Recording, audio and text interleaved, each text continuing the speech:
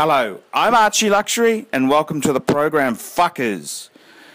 And today I'd like to talk about low acts. That's right, low acts. And uh, I got to tell you, I got to tell you, I recently had a disagreement with a friend, and uh, how's this for an all-time low? He decided to release our private conversations, which I didn't realize he was secretly taping on YouTube. What do you think of that? And, uh, you know, it's pretty fucking low. It's pretty fucking low in my book. And, uh, you know, it's an interesting thing. In Australia, tape recorded evidence, tape recorded conversations are inadmissible in a court of law. That's right, fuckers, they're inadmissible. You know why? Why are they inadmissible? Because they can be edited.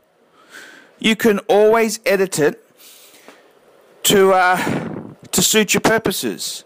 The other reason is is that the person who knows they're being recorded, obviously he says he or she says all the um, the proper things, whereas the other person who hasn't been warned he or she doesn't have the privilege of that uh, knowledge, and uh, they might make stupid statements or say something, and uh, it's completely blown out of context. Completely blown out of context. And uh, I don't know, I mean, I've had a few run ins with some friends, but uh, the lowest act I've ever had the uh, misfortune of experiencing is a is a former friend who releases my private, our private conversations on YouTube.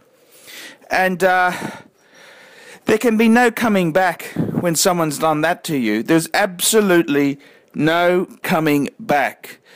And uh, it doesn't get much lower than that. I mean, what can you say?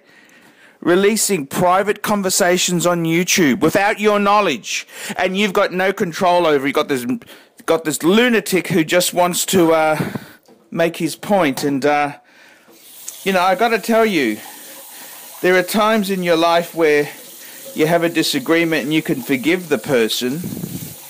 And then there are times when you will never forgive them. Never, ever forgive that person. And, uh, I've actually I've I've reached one of those uh, situations in my personal life, and um, I don't wish him I don't wish him bad or anything like that, but fuck me dead. There's no way in the world I want friends who do that to me. I'm Archie Luxury.